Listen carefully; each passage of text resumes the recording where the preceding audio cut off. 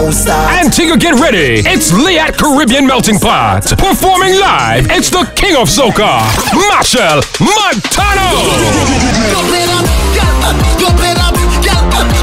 Also performing Zamoni, Menace, Etiwatiga, Ricardo Drew, Claudette C.P. Peter.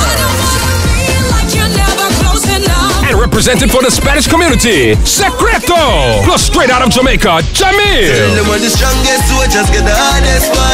Also on the lineup is the legendary original Burning Flames.